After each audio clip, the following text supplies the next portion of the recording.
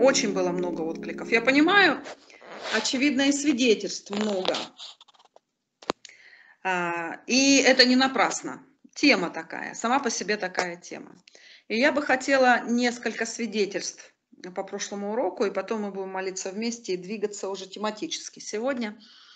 Кто э, был в затруднении, как слышать и как различать голос Духа Святого, и кому прошлый урок реально помог начать это делать, и вы что-то пережили? Кто может посвидетельствовать? Оля, я с просьбой, можно Наташу присоединить Зуганову? Она говорит, мне вызова не было. Ну, ее кто сейчас может присоединить? Если я ее присоединю, вы все вылетите. А, вон как. Она да, у, у нее есть ярлык присоединиться, потому что э, вызов был. У нее mm-hmm. есть синяя ссылка присоединиться к команде, присоединиться Хорошо, к звоню сейчас я. Угу. А, можно Ира Киреева? Да, Ира, пожалуйста. А, ну, во-первых, очень-очень-очень полезный этот, этот урок э, тем, что Э, мы э, прекрасную молитву, которая узнает нечистый дух и его отправляет к его источнику на разрушение царства тьмы. И замещаем Духом Святым или каким-то определенным духом. И мне в практике это очень-очень пригодилось. А, потому что разные ситуации, вот, и... Поделитесь, Сера, какие ситуации, вот в частности, то, что можно сказать? Э, да, я могу сказать, потому что у меня муж больной, он инсультник, э, у него э, разные очень настроения, вот, и я перестала так реагировать, потому что я говорю, так, дух раздора, дух разделения, я тебя узнала, я с тобой не сотрудничаю, и вот так вот, вот, вот так вот э, разбираюсь с этим постепенно, и я реально стала спокойнее. Реально, просто больше стала доверять Богу. И еще молитва, которая была, вот э, Лена Узорина давала, э, я отрезаю себя кровью Иисуса Христа, и я там добавила э, добавила то, что когда враг, чтобы не подслушивал, не подсматривал, а я добавила, э, запрещаю меня и мой дом атаковать. И э, значительно все стало спокойнее. Вот это прям свидетельство, Господи, слава Тебе. Оля, большое спасибо. Это просто реально работает. Аминь, это работает. Спасибо, Ирина. Вот это вот а, Оля, проста... а простая молитва, когда мы замещаем атмосферу и приглашаем противоположного духа, когда мы различаем чуждого духа и приглашаем противоположного духа. Когда мы говорим сменить атмосферу, допустим, тот же самый страх, это же и дух страха сюда же сразу приходит. Э, страх – это не автономное такое переживание, не, не только эмоциональное переживание, это и влияние демонического мира. Поэтому, когда мы а, удаляем одного духа, запрещаем ему действовать, мы приглашаем сразу противоположного духа, и атмосфера меняется еще и в силу того, что приходят другие служители, другие служители духовного мира. Замечательное свидетельство. Спасибо, Ира. Татьяна Бокова, пожалуйста. Да, э, здравствуйте, драгоценные. Хочу посвидетельствовать. В эту же ночь, когда у нас был урок, мы а, я у мамы отдыхаю, и у них под окном, а, значит, это пятиэтажное здание, это дом, а под окном в ночь, э, где-то во втором часу, а, стали собираться молодежь. Я поняла, что а, две, две ну, разные компании, вот, это было из-за девушек, начали кричать, начали а, материться. И тут я начала практиковаться. И вы знаете, слава Богу, Бог чудесный. Конечно, я, наверное, час потом уже еще продолжала молиться а потихоньку-потихоньку начала рассасываться, то есть э, а, мирным путем все это обошлось, без драки, без полиции, вот, и это все ушло. Опять же, это молитва, по этой молитве молилась, слава Богу. Аллилуйя. Спасибо, Можно Таня. Тоже? Да, вот тоже практика, вот тоже практика. очень интересные вещи. Когда мы будем практиковать? Когда мы сталкиваемся с чем-то чуждым нам и природе Бога э, обстоятельством или ситуацией какой-то конкретной. И мы начинаем практиковать. Нам придется когда-то идти, я не знаю, в морг, чтобы воскрешать. Где найти мертвого, чтобы отпрактиковать вот этот дар Божий? Явно там, где есть мертвецы. На кладбище, в морге. И каждый раз, когда мы сталкиваемся с какой-то такой ситуацией не Божьей, вот она и практика наша. Молодец, Татьяна, абсолютно верное поведение, слава Богу, тоже работает. Таня, пожалуйста, Манинин. Я не была физически, но я не всегда могу физически из-за работы. Но я прослушала в записи. Это со мной впервые такое, чтобы в записи этот урок был просто бомба. Она взрывается каждый день. Выявились э, те, те вещи, которые ну, во мне столько поднялось всего. И каждый день я с первой, значит, что у меня было – Э, разочарование, э, обида, э, ну и там тому подобное и так далее, все эти вещи. И вы знаете, они начали действовать моментально. На работе у меня просто радость. Я просто танцую, я в две смены отработала. На следующий день с утра у меня радость, все говорят, что с тобой случилось. Это все действует молитва, потому что я разбираюсь, вот это никогда еще не было просто вот, прямо сейчас она действует. И каждый день я ее практикую. И потом еще до этого был урок, когда вы, Ольга, сказали, а вы, Ольга, пророчествовали а, петь. Вы знаете, это просто произош... происходят чудеса. Э, я и с другим пою, и с другими пою. Теперь присоединились ко мне еще другие. Они просто начали исцеляться. Также пели. Мы вместе поем просто на языках. И это супер. Просто, ну, это для меня это просто вы благословение такое, что э, слава Богу за вас. Таня, хочу сказать в подтверждение, вот просто в подтверждение, вашими же словами, что пение в духе – это супер, ребята. Это, это такая супер. сила. Это что-то, это вообще что-то. Мы сегодня будем петь непременно, вдохновили это, мы Таня. Это просто моя, моя знакомая, которая была ну, на мели просто в духовных вещах, она сейчас ждет каждый день, она ждет, когда мы будем петь с тобой на языках. Э, она уже все, она теперь других учит.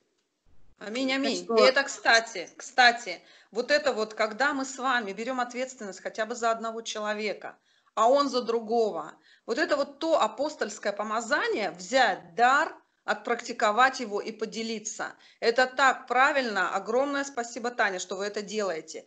И каждому хочу сказать, что когда мы берем одного конкретного человека и служим ему тем даром, который активирован в нас, берем просто ответственность за человека, вы сразу увидите, насколько сложно порой договориться, порой убедить, порой вы ощутите вот такое вдохновение, о котором говорит Татьяна, потому что что-то начинает реально работать. И вот э, человек растет, и он сам становится проводником Божьей славы. Это э, очень замечательный пример для каждого из нас, потому что группа, вот сама по себе группа, она разделяет апостольско-пророческое видение сегодняшнего дня. Когда Господь восстанавливает свою истину о том, что дары Иисуса Христа в каждом из нас, они действуют во всей полноте. Мы берем, учимся их брать, практиковать, и они приносят колоссальные перемены и в нашу жизнь, и в наше окружение, и в ситуации конкретные. Как Таня Бокова говорила, мы взяли один единственный механизм замещения, и он стал замещать чуждую атмосферу, он стал менять ситуацию, и то, куда пришел враг со своим разорением, со своим желанием нанести вред, вот как в этой компании, когда они две компании столкнулись, что могло быть? Мы знаем, что в таких случаях бывает. Но люди разошлись мирно, Господь пришел, ангелы пришли. То, что Таня говорит, люди стали исцеляться. Что произошло? Мы что с вами? Молились ревностно, или мы пришли на территорию какой-то больницы, возлагали руки? Нет, они пели. И это очень мощный инструмент для исцеления – Исцеление, потому что война, она в первую очередь война в нашей душе. Душа наша атакована. Мысли разные приходят из демонического мира. И мы начинаем с этими мыслями воевать, твердыни какие-то начинают вскрываться. Это, это, знаете, вот те, которые находятся во втором классе, Господь еще, еще глубже копает. Есть те пласты, которые подлежат восстановлению, подлежат Э, освобождению какие-то сферы в нашей жизни. И это все в первую очередь сразу работает в человеке и распространяется дальше. Механизм Божий такой. Господь брал, делал, говорил ученикам, а теперь идите, даю вам власть. Все даю вам власть, а мы ученики Божьи. Очень сильные свидетельства. Еще кто-то у нас слово просил. Скажите, кто у нас микрофон включал? Можно я, пожалуйста? Так, я, пожалуйста, это кто? Это Алина, Алина по-моему. Алина и Элла у нас микрофоны включили. Сначала Алина, потом Элла. Элла, вы стане, нет? Нет. Одна. одна. Сегодня одна. Хорошо. Алина, пожалуйста. Я вот тоже практиковала, да, вот я там в салоне работаю, и в салоне у нас разная музыка бывает. И там такой включай какую-то бесовскую, меня она раздражает. Я вот так вот тоже сказала, и вот в этот день хороший там джаз релакс звучал, он не напрягает хорошо. Вот. И тоже в один день тоже была на, на какая-то ситуация там. Э, я вот пробовала, да, вот так вот говорила, но про себя говорила. Но у меня не получилось. У меня это раздражение все равно шло. Мне что, надо больше верить или что надо делать? Почему у меня не получилось? Говорить надо вслух, Алина, а не про себя. А, то есть тогда лучше надо вслух. Конечно, Когда... конечно. А, Мы-то думаем, когда мы говорим про себя, что слушает все наше естество. Нет, слушает определенные участки нас. А когда мы с вами видим, произносим это вслух, то задействованы и глаза, и рот, и уши. Потому что когда про себя рот ничего не говорит, нет. Уши ничего не слышат, нет. Только э, через глаза информация поступает в мозг, и обрабатывается определенно мозгом для определенного участка нас. А чтобы все, все тело наше было задействовано, конечно, вслух. Почему и Писание, истинное пророческое слово, прочтенное вслух, оно имеет колоссальное действие. Почему, когда люди видят кошмары, например, им первое, что советуется, включать прославление, чтобы уши слышали. Чтобы уши слышали, чтобы тело слышало, чтобы вся наша душа в этом была задействована, потому что это все звучит не только демонический мир слышит, но и наш внутренний человек переформатируется, настраивается на Божью волну. Спасибо, Алина. И Элла, пожалуйста. Вы знаете, э, Ольга, когда вы сказали, что мы будем э, искать мертвых, чтобы спасать, у меня пришло очень сильное движение э, когда мне было 34 года, у меня умер 11-летний сын.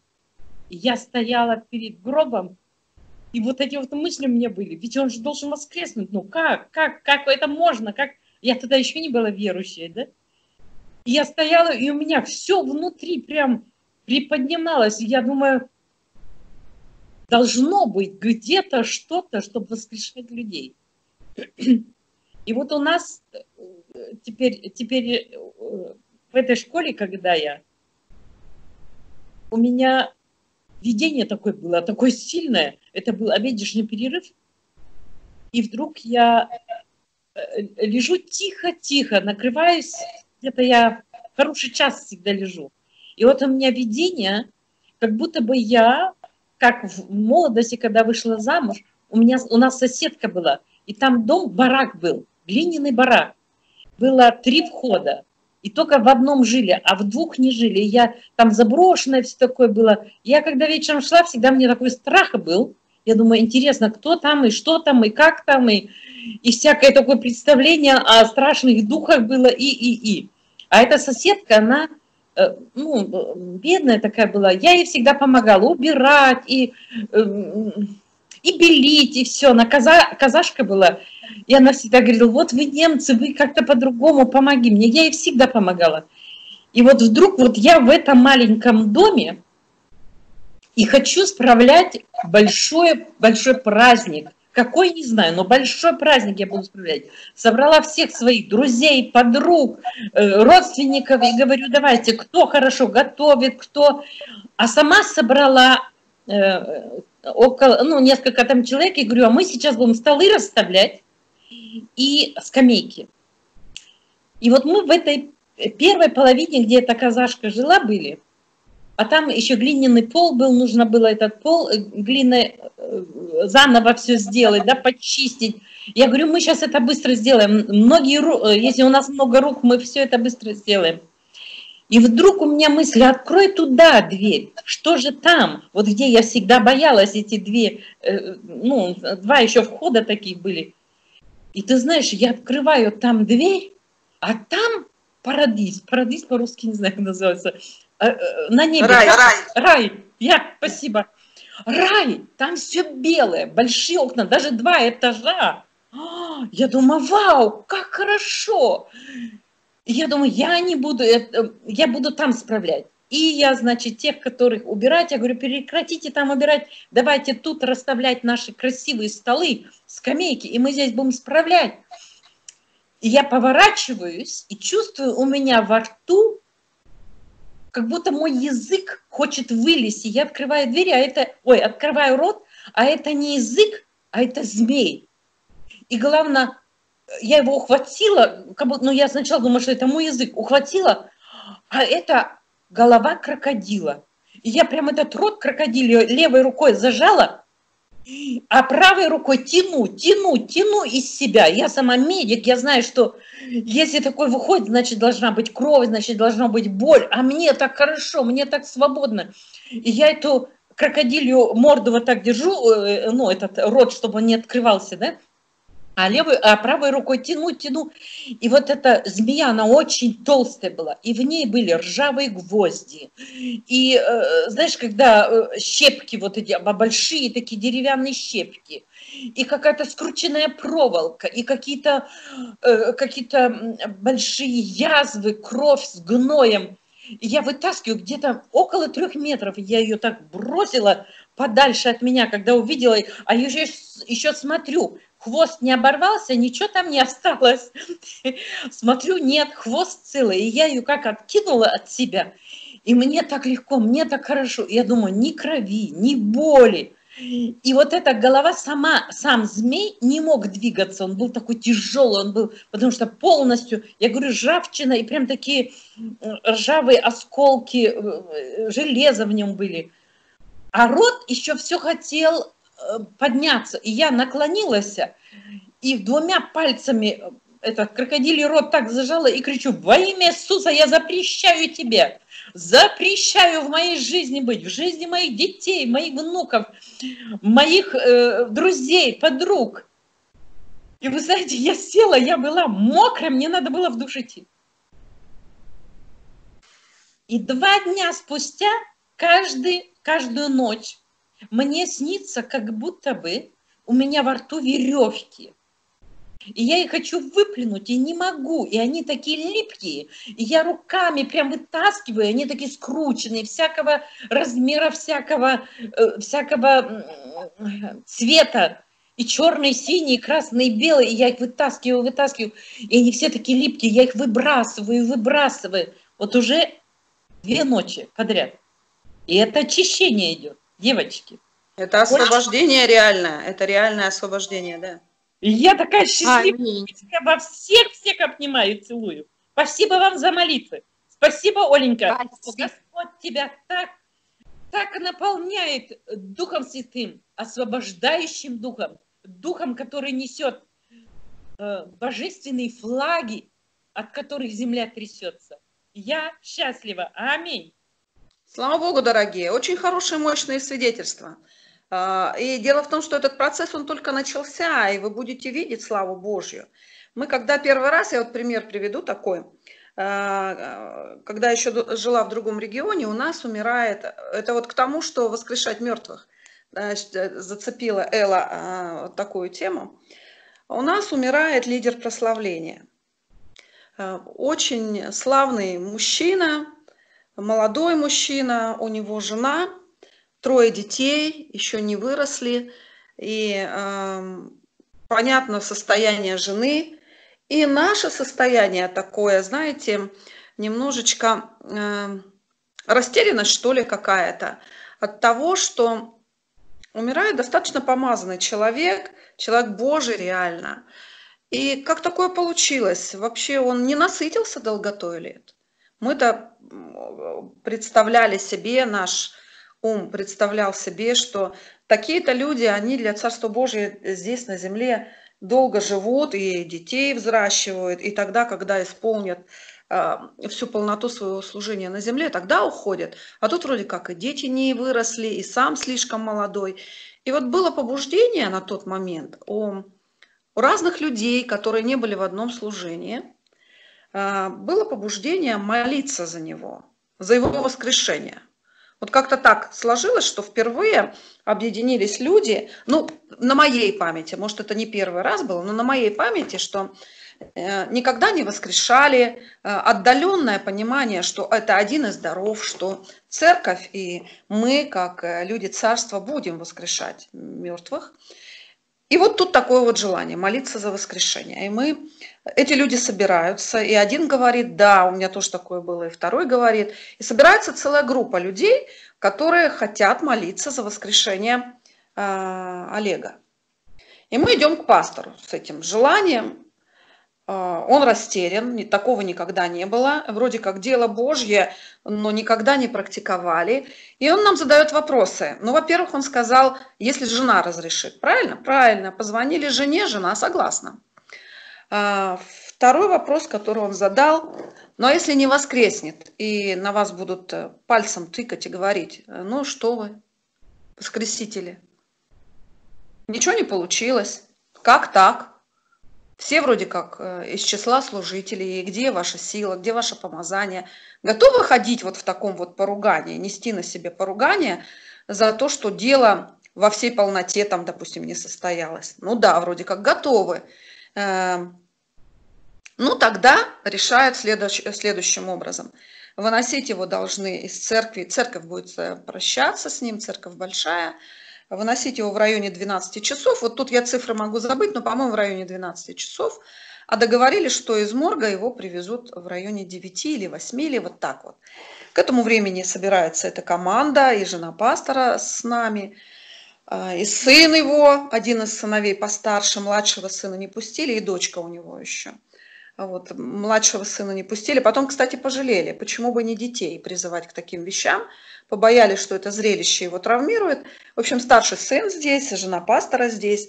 И мы начинаем молиться. И достаточно горячо люди эстафетно молятся за него, на него руки возлагают. Были движения в теле, были какие-то, знаете, такие конвульсии в теле. И люди это отмечали, не один человек.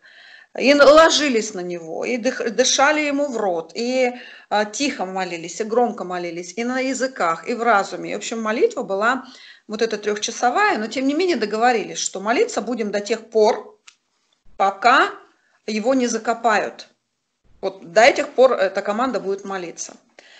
А, и получается, эта молитва продолжалась, ну, часов, наверное, 6-7. Он а, не воскрес, вот видимых вещей не было. Но оказывается, а, ну ладно, не буду перескакивать. Он не воскрес, и потом, после захоронения, все собираются на последний погребальный обед. И вот эта вот э, группа молитвенников, она тоже туда идет. Она тоже туда идет. Хотя вроде бы в свете того, что произошло, те, кто молились за его воскрешение, им бы надо туда и не ходить. Вроде э, то место, когда ты идешь реально на то, чтобы тебя духовно ударили. Потому что, ну, сейчас начнут косо смотреть, может быть, а может быть, что-то и говорить. Но я не помню, все ли пошли, но я там была точно. И если бы мы туда не пошли, на тот обед а, последний, мы бы никогда не узнали, что он, оказывается, воскресал. Что произошло? Люди увидели видение, когда вместе с Олегом, его Олег зовут, Иисус приходил, и он уже был в праздничных одеждах, этот Олег, и Иисус говорил, посмотри, как тебя любит церковь, посмотри, как они ревностно за тебя молятся. А мы там в это время на него руки возлагаем, на него ложимся, в него дышим, а его-то понятно, что уже там нет, но мы работаем с телом, чтобы Иисус вернул ему дыхание жизни, дух его вернул. Мы молимся об этом. А, кто как на тот момент был научен, тот так и учил, э, молился. Первая практика была. Вот. И что выясняется на, что Господь сделал через вообще вот эту вот ситуацию. Очень много было моментов, которые Господь через эту ситуацию сделал. Вот это видение человек увидел, он рассказал это на последнем обеде. Потом сама жена ходила, э, ей уже сообщили о том, что э, он умер. Он умер. Ей сообщили, что он умер. Но она как-то так это не зафиксировала в своей голове. Приходит в больницу, она по дороге в больницу это услышала, что он умер. Приходит э, в больницу, он живой. Не, она не стыковала эти вещи вообще никак. И он ей говорит, жене своей, Надя, я ухожу и дает какие-то ей последние наставления. Она ему в ответ, Олег, как ты уходишь, ты сейчас со мной разговариваешь? Он ей опять говорит, что я пришел для того, чтобы с тобой проститься. Оказывается, он, он умер, Господь его воскресил, а мы в это время молимся за вот это вот чувство у нас, то, что он воскреснет, оно было внутреннее, и оно было вот именно таким путем, как Господь это хотел, не как мы прорисовали это. Это вещи такие, знаете, запараллеленные какие-то а, между собой. У нас есть это желание, а он на самом деле в это время воскресает. И вот он уже уходит, а у нас это послесловие есть, послевкусие, что человек воскреснет, он воскреснет, он воскреснет. И она свидетельствует о том, что он воскресал с ней, простился, потому что он уже было уже свидетельство о том, что он умер, ей позвонили, она эти вещи как-то даже, ей Господь и не позволила за, состыковать. Но так вот, когда Иисус приводил его и показывал, насколько его любит церковь, он сказал, что этим людям, которым я дал дерзновение молиться за него, я их буду использовать, они будут воскрешать мертвых. Поэтому все те люди, которые там были, вот это вот зерно, оно как бы прорастает. И это тоже одно из тех вещей, которые Господь будет делать в последнее время.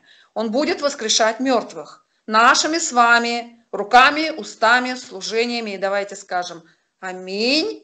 Аминь, аминь. Аминь. Аминь. Аминь. Аминь. Мы берем это, мы берем это, Господь. Да, мы будем воскрешать мертвых. Мы берем это. Это тоже один из даров, это тоже один из даров, и он тоже дается просто.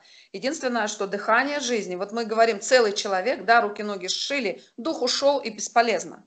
Бесполезно, пока Господь, властелин дух, человек, э, душ человеческих, он не вернет ему это дыхание жизни, если человек а, должен вернуться на землю и совершить что-то еще. Но что еще там было? Последние несколько слов скажу. Этот человек, он ушел он выходец из другой церкви, он к нам пришел из другой церкви. И вот эти вот две церкви между собой, наша и та, из которой он пришел, они были в состоянии такого пассивного конфликта. Потому что люди из той церкви, откуда пришел Олег, они стали приходить к нам. И это право любого человека. Идти за пищей, за духовной, в другое место. Потому что мы тело Христа, мы Вселенская церковь. И пора уже э, перестать ставить эти барьеры, что если ты ушел из моей церкви, то анафема тебе. Нет. Мы все с вами члены одного тела, в какой бы поместной церкви мы ни находились. И вот на тот момент, на последний обед, пришли представители и нашей церкви, в которой он уже служил, и предыдущей церкви, из которой он вышел. И вот тут вот такое, знаете, вот мы увидели, что сами люди, э, которые ходят в церковь, они а, перетекают друг друга, они ничего не имеют против друг друга. Они видят, что ни одни, ни другие, ни, знаете, ни волки серые, ни звери лютые. Все наполнены любовью, все желают блага друг друга, все молятся друг за друга. Это было такое, знаете, какое-то а, время примирения, очень серьезного примирения. Очень сильное было помазание на этом а, всем. И вот, вот такое вот событие я пережила в свое время. У меня тут есть я не знаю, Тань, по-моему, ты была, да, Таня Батракова? Можешь ты, Таня, ответить или нет? Да, да, была, конечно. Очень. Она тоже была, да, тоже была. Как бы свидетели Я... есть тому. Мы пережили все очень серьезное духовное переживание тогда, в тот момент. Очень серьезное. И дело в том, что у этого есть продолжение. Мы опять с вами все вместе, и опять мы движемся в сверхъестественном. Люба, что вы хотели сказать? Свидетельство есть? Нет, у меня случайно включился микрофон. Ага, случайно включился. Так, драгоценная, что у нас с вами происходит? Оля, я? Да, Оля, пожалуйста, я? пожалуйста, пожалуйста. Оно такое короткое свидетельство, но оно ну, в практике. Угу. Я сейчас нахожусь на вахте, это 14 дней. И, ну, а получается, сутки работаешь, сутки отдыхаешь. И сегодня это уже получается последние сутки. И вот на этих выходных я зашла в комнату, где комната отдыха, просто положила руку на Библию и сказала, я призываю атмосферу Божью атмосферу Божию, потому что люди уставшие, а, много, ну, много вещей, где негатива много, ну, много разных вещей. И я говорю атмосфера Божья. И когда я это провозгласила, но я провозгласила это внутри себя. И я открыла Библию начала читать притчи. И все в комнате, кто были, отдыхали, они все слушали. И был диалог. То есть, ну, я поняла, что туда, куда мы заходим, ну, там живой Бог. И вот, чтобы вот это вот действительно негативность, она сразу уходит. Она сразу уходит. И а, легкость пришла. И общение было очень хорошее. Ну, то есть вот так. Угу, спасибо, Таня. Да, мы носители атмосферы. Мы да. носители определенной атмосферы и мы реально можем принести атмосферу царства. И этим надо пользоваться. Этим надо пользоваться всегда. Хорошо, дорогие. Вот э, получилось наше свидетельство, они важны очень, и служение состоит из свидетельств, но тем не менее мы прикоснемся к теме. Я понимаю, что тема, она немножко транспонировалась, так поменялась. И я хочу поговорить эм, вот на тему вот такого стиха. Сейчас я вам его прочту, и ваше мнение, ваше мнение – я его прочитываю, слушаем внимательно. «Боязливых же и неверных, и скверных, и убийц, и всех лжецов участь в озере горящим огнем и серою». Почему, на ваш взгляд, боязливые а, идут вообще первыми в этом ряду? Казалось бы, люди, подверженные страху, и причем здесь лжецы и убийцы, да? Но тем не менее, я еще, еще раз прочитаю этот стих, и у меня вопрос к вам. Почему боязливые стоят в самом начале? Боязливых же и неверных, и скверных, и убийц, и всех лжецов участь в озере горящим огнем и серою. Какое у вас мнение? Почему боязливые Элла, в этом стихе? Элла, да, пожалуйста, Элла. Потому что Библия говорит, что я тебе дал духа силы и, и последнее я забыла по-русски, как называется. И здравого ума. Да, да. целомудрие, здравого а ума. сначала идет боязливые. Поэтому сначала боязливая. Так, принимается еще, пожалуйста. Это недоверие к Богу. То же самое, что я не верю тебе, что ты это сделаешь. Боязнь. Ты защитишь. Так, спасибо, Таня. Еще мнение? Ну, за боязнью можно Саша я? и потом Таня, по-моему. Угу. Саша, пожалуйста. За боязнью стоит дух страха. Дух страха – это противоположность веры. И, соответственно, ну, а если нету веры, то все, то, ну, какие... Без веры Богу угодить нельзя. Праведный своей верой жить будет. То есть Аминь. лишается человек всего. Аминь. Сильный аргумент. Еще, пожалуйста, кто у нас говорил?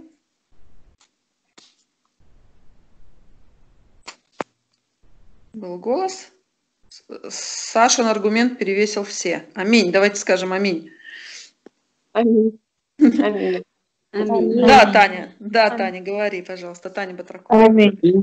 Я думаю, что э, если ты боязливый, а, ну, внутренность твоя боязливая, ты не сможешь а, ну, переносить трудности, ты не сможешь а,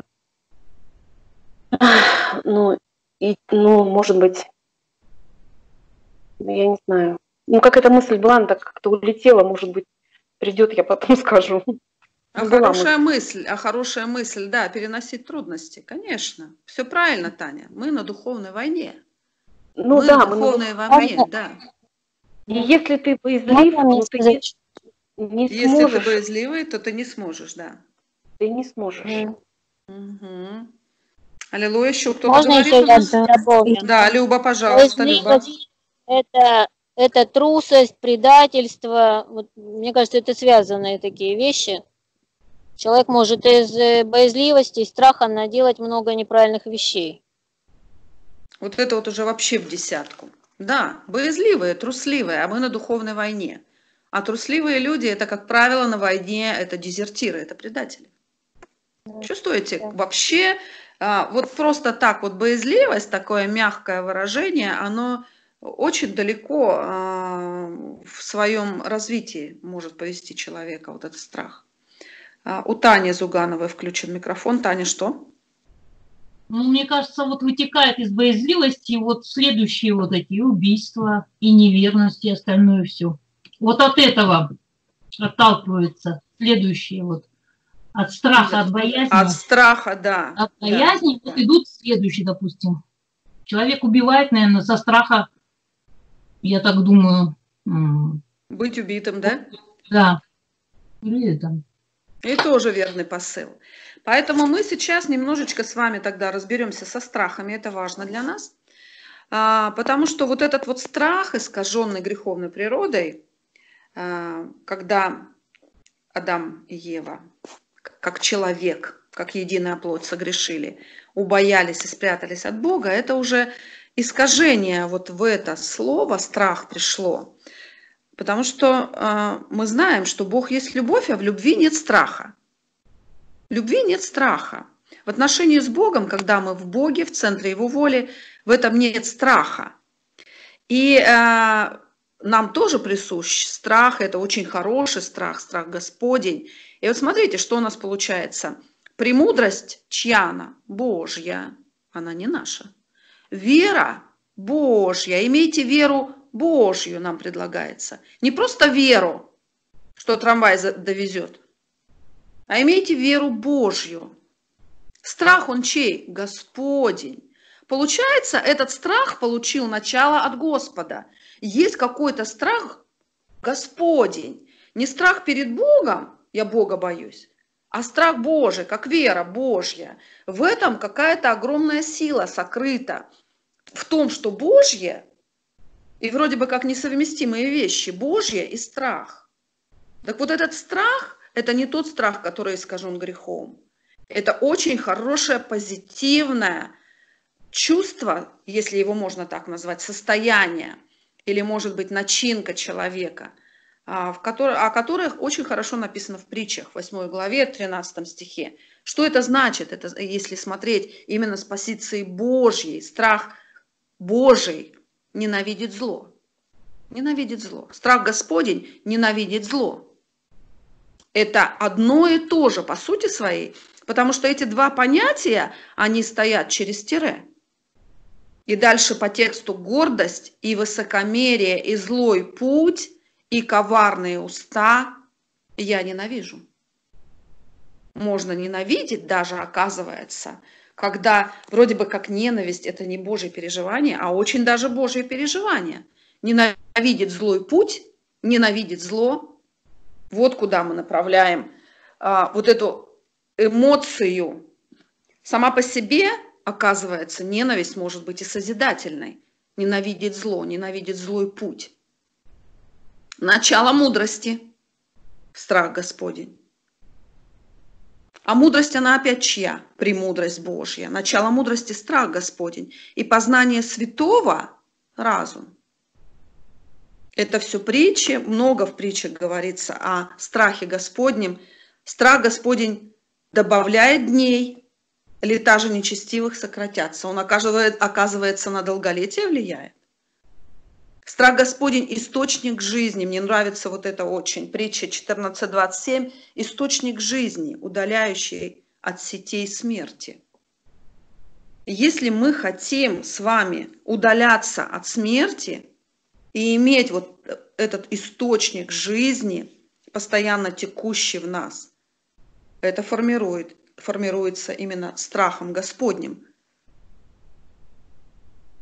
Хорошее, очень буквально шикарнейшее просто выражение, я бы сказала, из премудрости сына Сирахова. Страх Господень, слава и честь, и веселье, и венец радости. И Иов уже, когда поговорил с, Госп... с Господом, уже завершаются главы, уже восстановленный он в своих отношениях с Богом. Он говорит, страх Господень есть истинно мудрость и удаление от зла разум. Вот то, о чем мы с вами говорили. Поэтому не всякий страх э, нам не нужен, страх Господень нам очень нужен, потому что во всем этом и источник жизни, и удаление от смерти, в этом премудрость, в этом слава, честь, веселье, венец радости. И истинная мудрость, разум – это все страх Господень.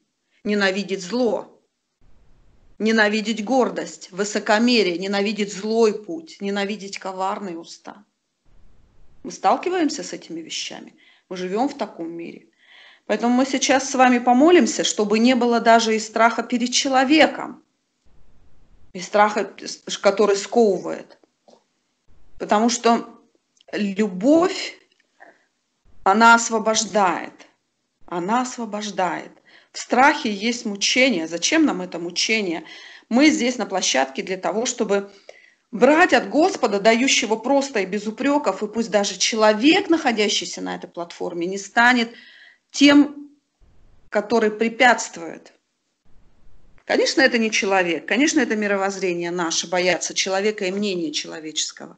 Но даже этот страх, давайте мы с вами сейчас помолимся и удалим из нашей жизни осознанно это сделаем.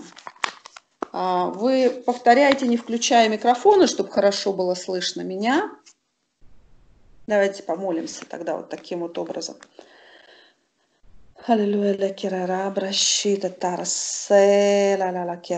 Отец Небесный, я сейчас открываю все мое мышление.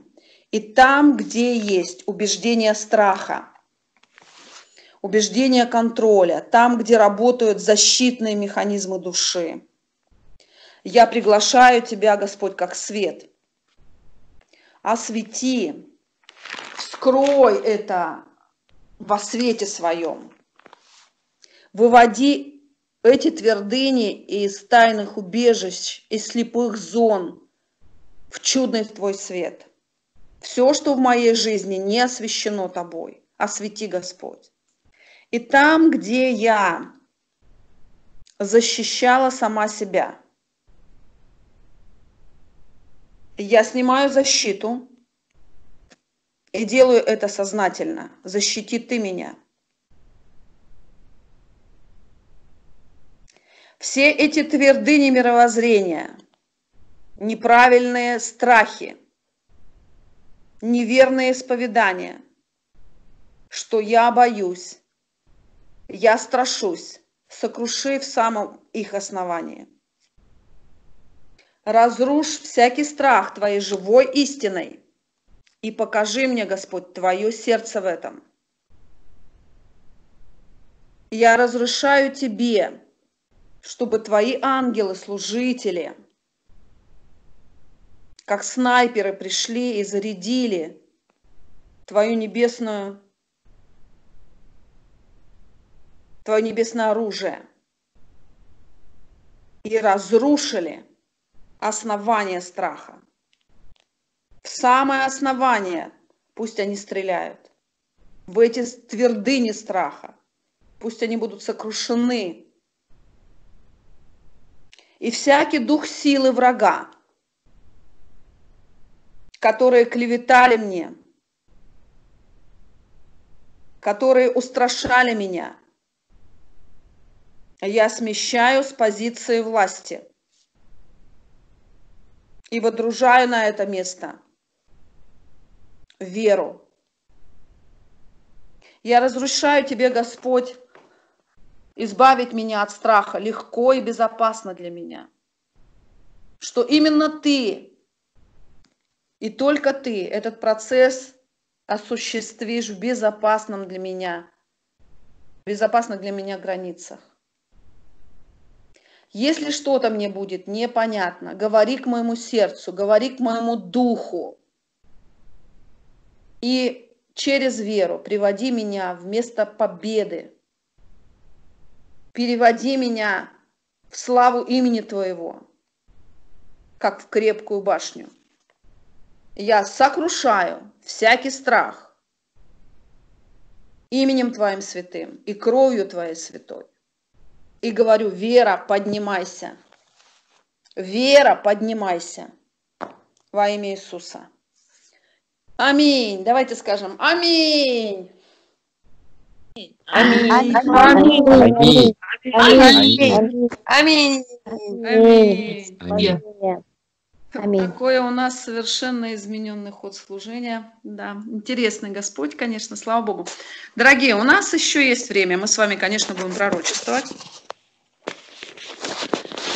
А, И пророчествовать я попрошу прямо по порядку. Мы друг за другом начнем пророчествовать. Сколько успеем, столько успеем. А, Пальма первенства у нас Александра принадлежит. Александр пророчествует, мы пророчествуем с вами точечно конкретному человеку здесь в команде. Поэтому Александр, а, за ним Елена Джонсон, затем Элла Зайберт и потом Татьяна Манинин. Вот я думаю, четыре человека точно смогут по одному пророчеству высвободить. Если еще будет замечательно, мы с вами берем на пророчествование одну минуту, а сейчас мы одну минуту молимся, потому что это практическая часть. Давайте примем от Духа Святого, успокоимся, настроимся на Господа, куда слушать мы это знаем. Давайте это сделаем, включим микрофоны и помолимся. Родители кичи дзеркаечен сия хангелар. Абра шида найтер кирабраш. Але леле кирара браннетер лай. О ле ле ле ле кирара браш рабрайтера кесит кирара. О ле ле ле ле ле ле ле китара браннетер ла ла ла ла ла ла. Але ле китара браннетер си ла ла ла ла ла кирара браннетер сета.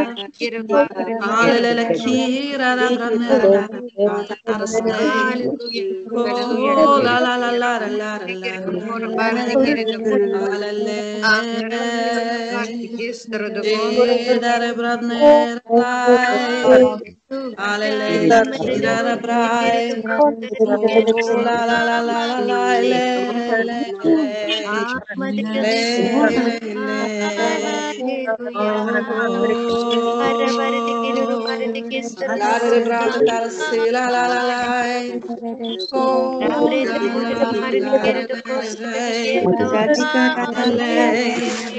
Слава Богу. Дорогие, аминь. Аминь, аминь, аминь. аминь. И, пожалуйста, Александр. Ну, вот у, у меня пришло такое слово для любовь и Игорь. Не знаю фамилию, как любовь и Игорь написано. Дети мои. А, так подрез. Любовь и Игорь подрез. Хорошо. Саша, извиняюсь, говорите. Так говорит Господь. Дети мои, люблю вас. Поведу вас туда, где вы еще не были. Доверяйте мне. Вот такое короткое слово было.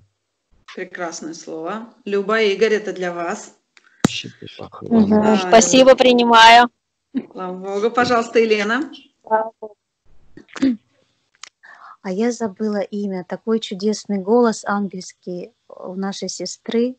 Напомните имя. Вот для нее мне хочется сказать. Все свои голоса озвучьте, пожалуйста. Вот которая поет. Которая поет. Такой нежный голос, тонкий-тонкий, такой высокий. Нам пела несколько раз Ирина Жиляева. Ира, дайте-ка Да, свой мне, мне голос кажется, немножечко. Ирина. Она? Да, я даже на каком-то немецком или французском она в прошлый раз пела. Совершенно верно. Значит, она, Ой, Ирина Жиряева. Да, Господь, Господь, говори, говори, что ты хочешь сказать для Ирины, нашей возлюбленной сестры, дочери твоей, Господь. Дай слово. Аллилуйя, Господь. Ты птица моя певчая, в тебе мое благоволение.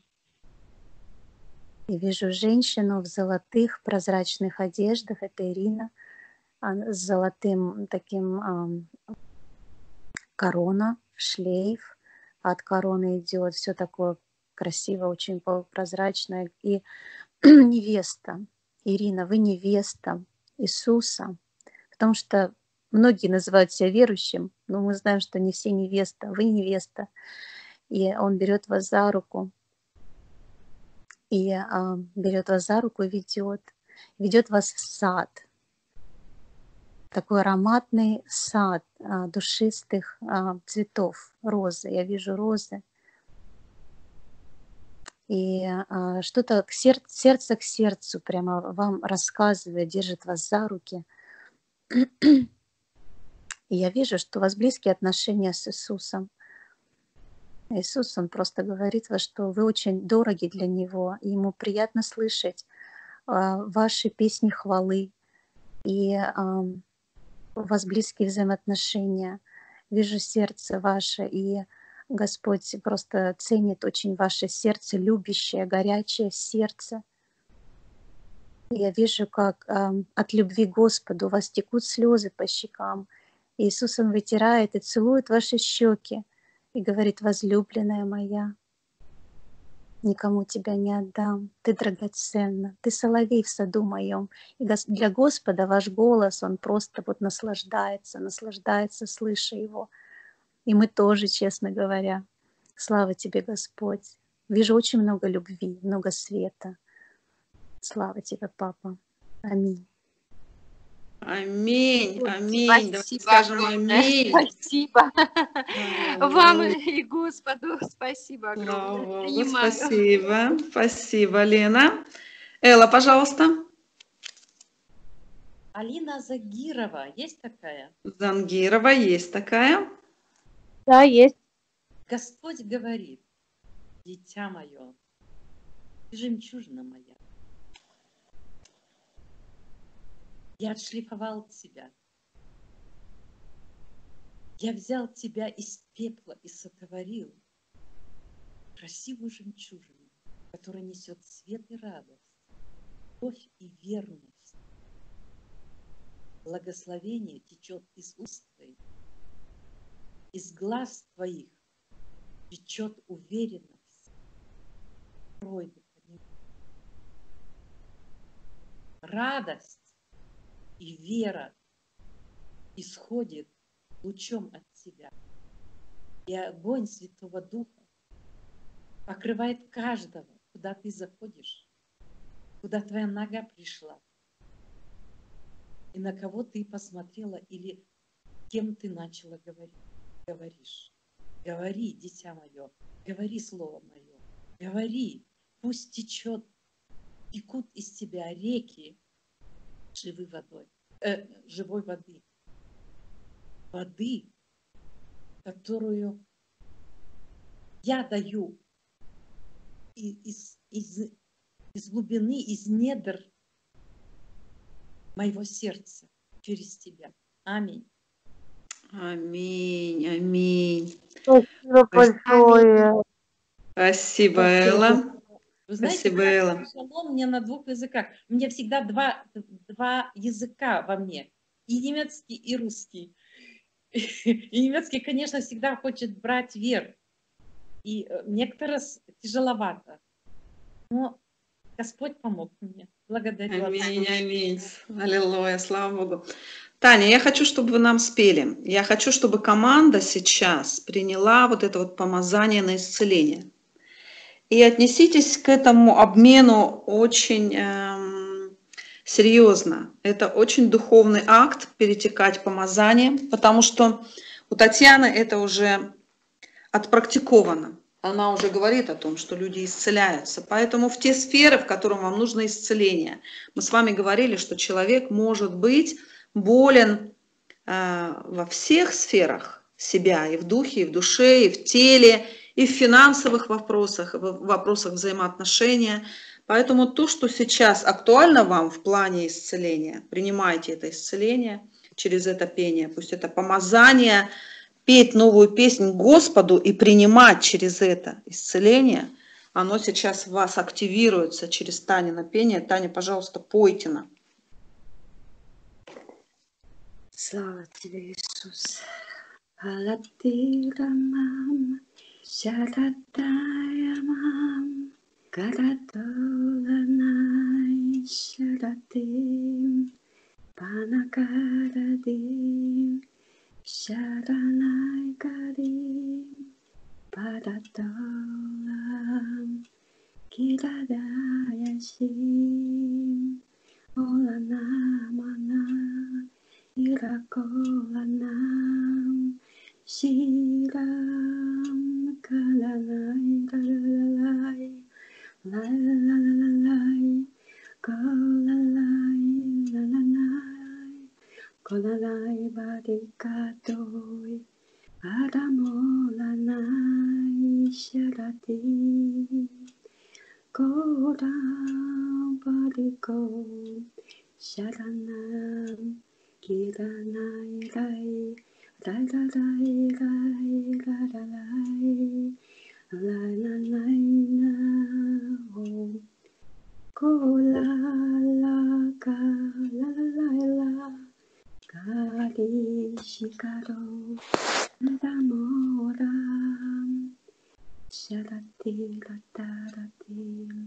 シラタラティジョリタラ Kiratorim Аминь. Течет река от престола моего в этой реке все оживает. Это сама жизнь течет. В ней струи любви, восстановления, струи исцеления, благодати моей. Окунайтесь в эту реку. Вы сможете превозмочь любые обстоятельства. Они не будут трудными для вас – течет река жизни от престола моего прямо в ваши сердца, в ваши души, в ваши обстоятельства. Любовь никогда не перестает. Это то, о чем нам пела сейчас Татьяна. Это, конечно, невероятно. Слава Богу. Аллилуйя. Аллилуйя. Аплодисменты вам, Таня, от всей команды. Слава Богу. Слава Богу. Свидетельствуйте потом об исцелении, дорогие друзья. Очень быстро заканчивается время. Мы с вами завершаем. Я попрошу Ирина Жиляева помолитесь в конце нашего служения, и мы расстанемся. О, Господь, слава Тебе, великая слава Тебе, что Ты все слышишь, Ты все знаешь, Ты всему нас научаешь, освобождаешь, вразумляешь, вдохновляешь. Господи, спасибо. Благослови каждого, кто здесь был. А, с каждым сердцем работай. Благослови особым благословением Олю, ее семью, ее дом. Это служение такое важное, Господи. И нам дай впитать и быть а, плодовитыми источниками, из которых течет живая вода. Как из из тебя всегда, ты сказал, я из путь истины и жизнь, чтобы мы стали точно такие, как Иисус. Аллилуйя. Аминь. Аминь. Давайте скажем аминь. Аминь. Святые Божьи, драгоценные для его сердца. С миром Божьим, дорогие. Шалом, шалом. Оля, спасибо огромное. Будьте благословенны еще больше. Пусть Господь еще больше изливает любовь свою на вас. А вы, а вы, а вы потом нам передавайте славу Господу за вас. Слава Богу. Да, Оля. Да. Прощаемся, дорогие. Э, Хорошей вам недели предстоящей. До встречи.